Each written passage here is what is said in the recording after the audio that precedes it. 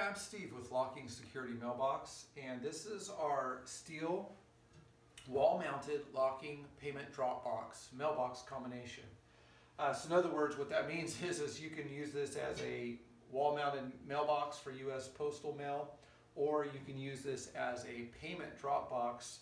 Uh, for example, if you are a uh, office, for example, that receives payments of some type, um, you can receive payments uh, as well. Uh, tell you talk about the dimensions real quick. Uh, the mailbox is um, 13 inches wide.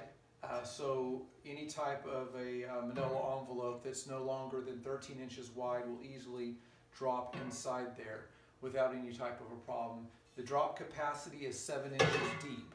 Uh, so if you have anything bigger than that, it still will allow it, um, but it's just going to be a, a little bit more difficult. So for example, magazines are easily going to drop inside this because they're flexible and they can drop in there. A small bank bag, for example, can easily drop inside there. Uh, small um, or standard size business envelopes, if you're receiving rent, any of your U.S. postal mail uh, shouldn't have any type of problem going in there. You can even drop a box of checks in there. Uh, a small, uh, soft uh, envelope with prescription drugs can drop in there without any problem. So again, 13 inches wide. It's seven inches deep, but then there's a one inch overhang. And so what that one inch overhang is, is let's say you're, you're mounting this to a wall and your eave doesn't cover over quite enough or you get a lot of rain, that one inch overhang helps protect it from rain from getting inside there. Uh, so it is designed to be in direct weather without any type of problem. Um, and then the height is 18 inches. And so this top portion here is the drop door. And then this bottom portion right here is the access port. Um, and this allows you to pull the mail out. As it's shown here, it has a combination lock. And then there's also an option for a key lock if, um, if you don't want to use the combination. Combination lock is pretty cool. You set it with actually any of your numbers uh, that you want to use up to three or using three digits. So you can set your combination as one, two, three, for example. And to do that, all you do is put it in the unlock position. You get like a paper clip and you apply pressure in the little hole that is there. And as you're applying pressure onto that, you'll feel it give as you push it in. You set the combination you want, make sure you keep pressure the whole time.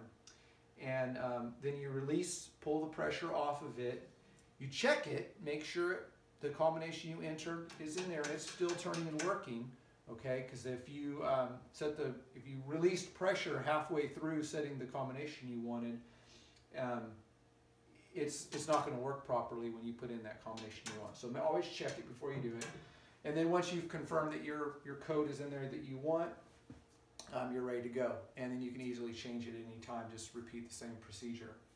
Uh, so it is quick and easy to do. The keys uh, lock uh, obviously, you just put the key in there, and it's got a steel cam that keeps it secure. Uh, again, so this is 13 inches wide, it's 7 inches deep with a 1 inch um, overhang, making it a total 8, um, and 18 inches high. The uh, drop door uh, has anti-fishing fingers back in here, and it's hard to see. I'll, I'll, show you some additional footage. But what that does is, is when you're when you're trying to uh, fish something out of here, let's say you have like a coat hanger with something sticky on the end, which is prominently what a lot of thieves try to do, it'll get caught in those fingers and knocked back down and they won't be able to take your, your payments or any of your mail. Uh, makes it really difficult.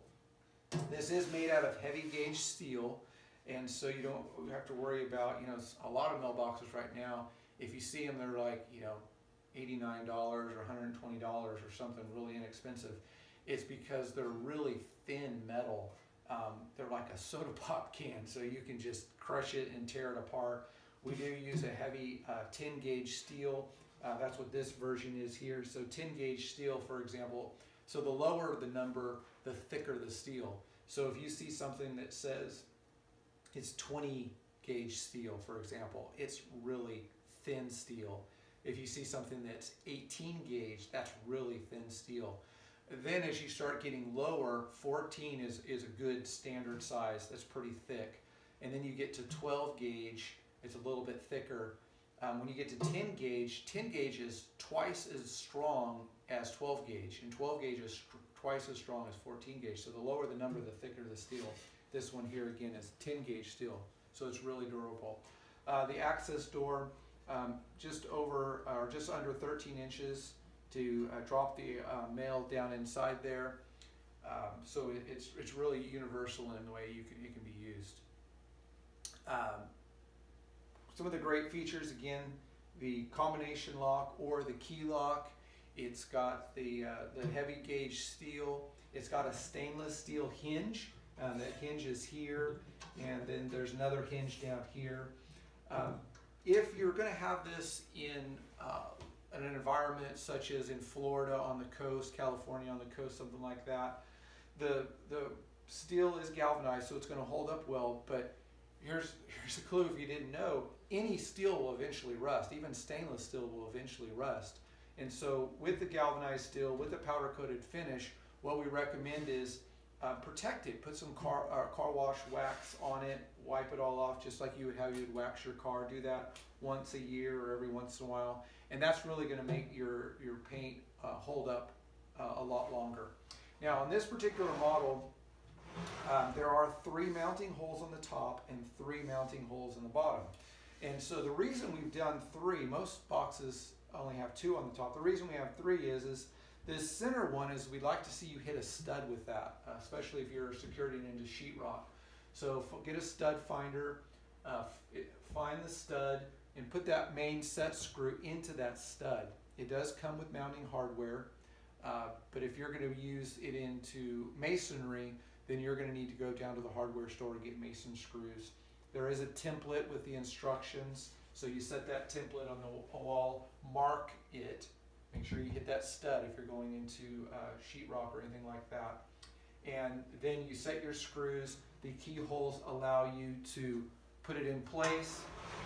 And then you open it up and you, and you tighten those screws down. And now, of course, it is tough to tighten those down, but uh, because you, it's hard to get your hand in there. So we really recommend a long screwdriver, at least a 14 or 16 inch screwdriver to finish tightening those off. And again, the reason we do that is makes it difficult because it makes it difficult to remove. And even if they were to get these top screws for some reason, the bottom screws they wouldn't have access to. Another installation tip is, is right before you finally secure it to the wall is get some adhesive caulking and go ahead and put like six or eight dabs of adhesive caulking on there, stick it on the wall, slide it into those keyholes, tighten it up, and as you tighten it up there on that wall, that adhesive caulking is going to make it even more difficult, and you can even caulk around it as well to make it tough. Uh, again, this is our CastleBox Designs. Uh, that's the manufacturer. Steel large wall-mounted payment drop box or uh, mailbox.